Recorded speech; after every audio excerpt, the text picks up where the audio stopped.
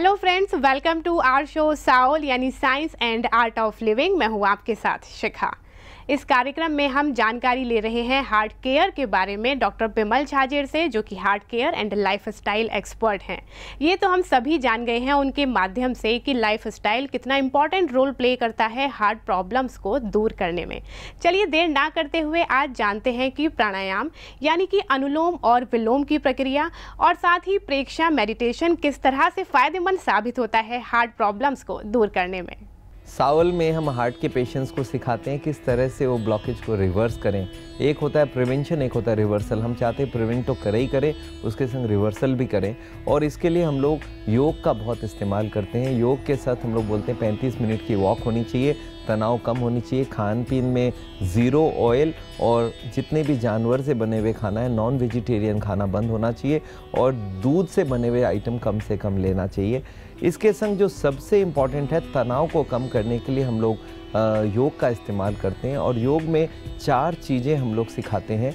एक तो सिखाते हैं सावल हार्ट एक्सरसाइजेस जो सर से पैर तक की मूवमेंट होती है, ये करीब 10 से 12 मिनट में कंप्लीट हो जाती है।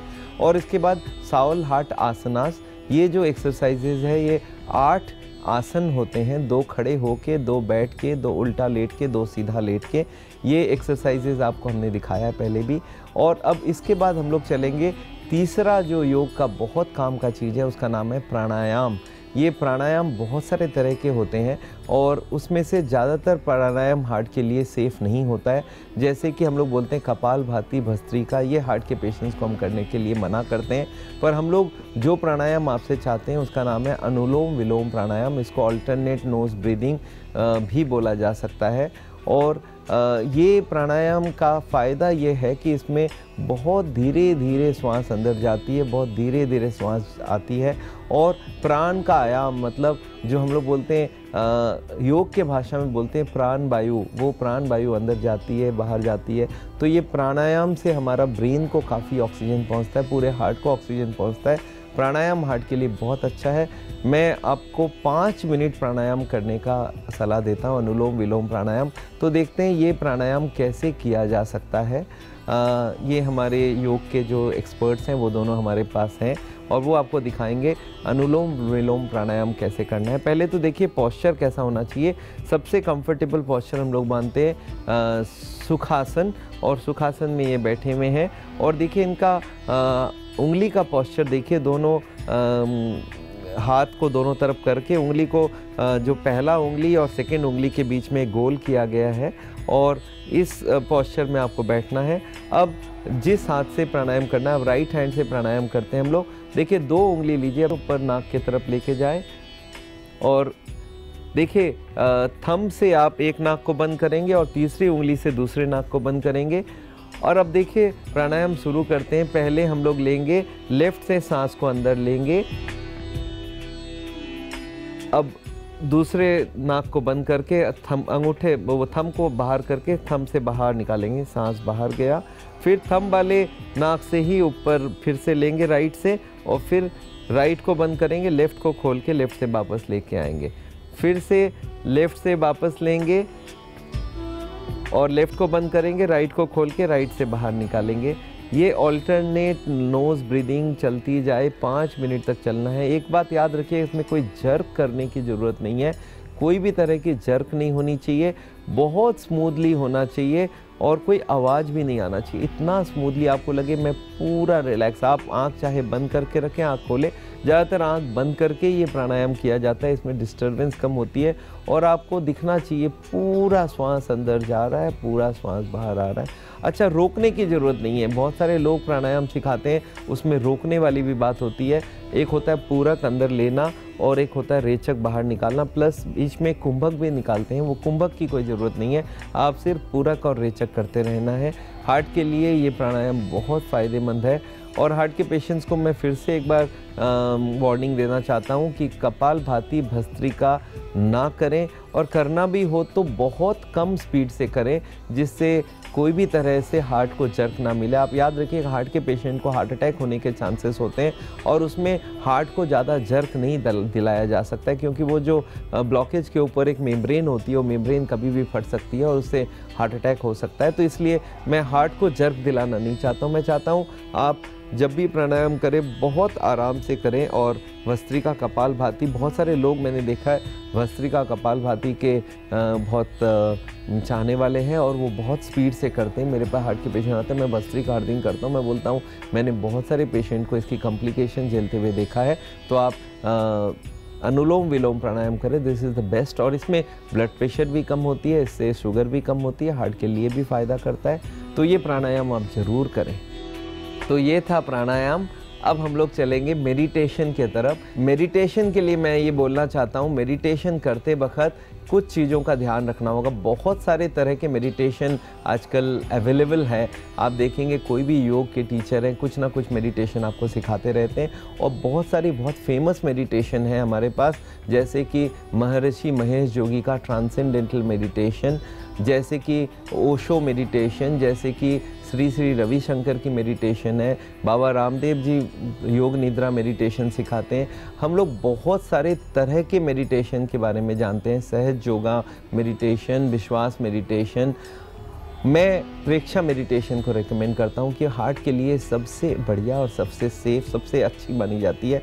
प्रेक्षा मेडिटेशन करते वक्त आपको इनफैक्ट बहुत सारी मेडिकल रिसर्च मेडिटेशन पे हुई हुई है और ये देखा गया है मेडिटेशन पूरे बॉडी के लिए और हार्ट के लिए तो स्पेशली बहुत ही अच्छा माना जाता है, क्योंकि ड्यूरिंग मेडिटेशन हमारी ब्रीदिंग की स्पीड कम हो जाती है ड्यूरिंग मेडिटेशन हमारे हार्ट को ऑक्सीजन ज़्यादा मिलती है ड्यूरिंग मेडिटेशन हमारी कोलेस्ट्रॉल कम होती है, हमारी ट्राइग्लिसराइड कम होती है, हमारे ब्लड प्रेशर कम होता है, हमारा शुगर कम होता है मेडिटेशन से हमारा ब्रेन फुल रिलैक्स्ड में आ जाता है, हमारे इमोशनल ब्रेन पे कंट्रोल हो जाती है और ये मेडिटेशन करना, हमारे इमोशनल ब्रेन को कंट्रोल करना ये बहुत ही ज़रूरी है हार्ट के पेशेंट्स के लिए, क्योंकि जब भी वो रूल तोड़ता है तो उसके इमोशनल ब्रेन उससे रूल तोड़वाता है।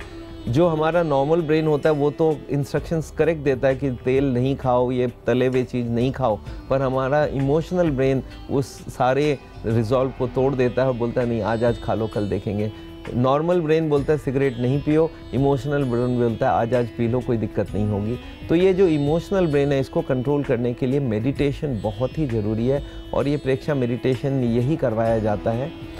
पर मेडिटेशन में चार पाँच रूल है। लोग बोलते हैं, डॉक्टर साहब, मेडिटेशन करना कैसे है?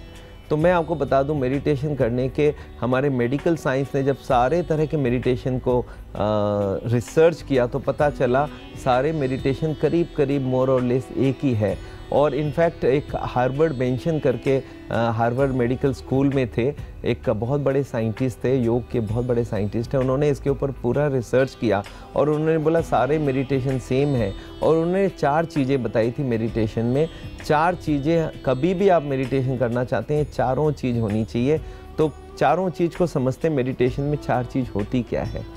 पहला मेडिटेशन का होता है पॉस्चर जो मेडिटेशन की पॉस्चर होनी चाहिए वो ऐसी होनी चाहिए जिसमें आपको कोई भी तरह के दिमाग को ज़्यादा टेंशन नहीं लेना हो। आपका बॉडी का हर पार्ट कंफर्टेबल रहना चाहिए और आपकी स्पाइन स्ट्रेट होनी चाहिए। ज़्यादातर मेडिटेशन करवाते वक्त हम लोग आपको हम दिखाएँगे किस तरह से मेडिटेशन के पॉस्चर्स होते हैं। सबसे बढ़िया पॉस्चर तो देखिए ऐसे आ, पद्मासन होता है पर आम आदमी अभी पद्मासन लगा नहीं पाता है।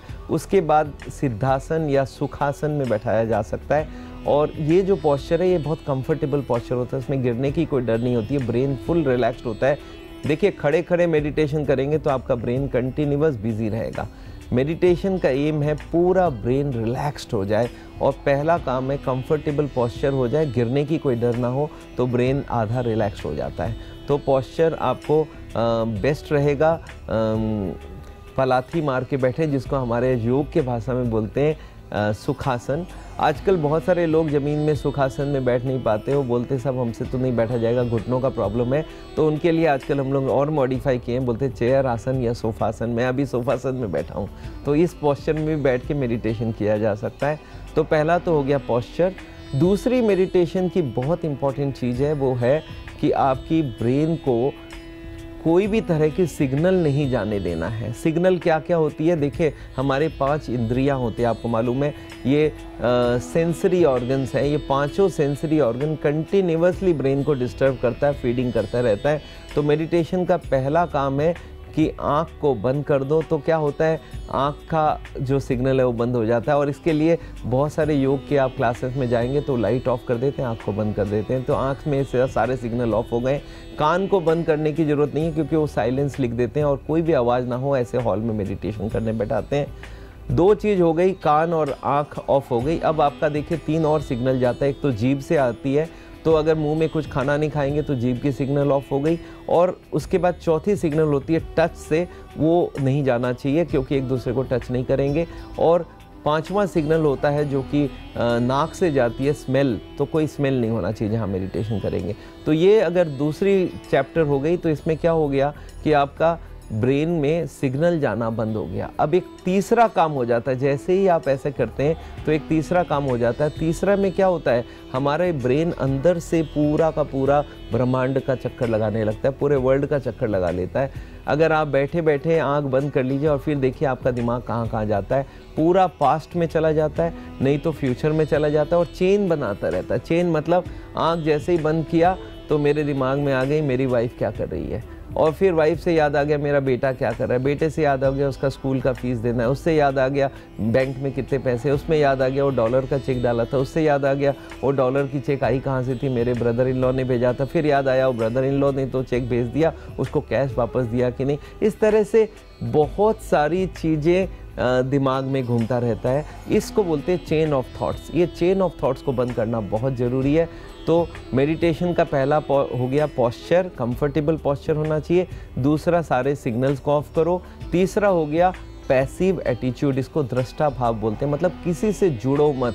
दिमाग में कोई भी थॉट आए, उस पर जुड़ना नहीं है, उसको वैसे का वैसे रखना सिर्फ़ देखो और जाते दो, देखो और जाने दो, उससे जुड़ना नहीं है। इसको बोलते हैं पैसिव एटीट्यूड ये बहुत डिफ़िकल्ट होता है और इसके लिए चौथा थीम लाया गया है, जिसका नाम है कंसेंट्रेशन कोई भी चीज़ में आप कंसेंट्रेट कर लो, उसको थीम दिया जाता है। थीम मतलब कोई भी थीम दे दो और प्रेक्षा मेडिटेशन में हमने हार्ट के लिए स्पेशल थीम बनाया है और वो थीम है कि ब्लॉकेज खुल रही है। ग्रीन कलर लेके जाएँ और देखिए ब्लॉकेज खुल रहा है ब्लॉकेज खुल रहा है। तो आपको पहले तो पूरे बॉडी की एक एक पार्ट को ढीला करना है। मैं आपको ये करवा के दिखाऊँगा मेडिटेशन, पर आपको थियोरी समझना होगा कि आप कंफर्टेबल पॉस्चर में बैठिए, सारे सिग्नल्स को ऑफ़ कर दीजिए, कोई आवाज़ आवाज़ नहीं आना चाहिए। इसके लिए हम लोग बोलते हैं मेडिटेशन अर्ली मॉर्निंग करेंगे तो बेस्ट टाइम है।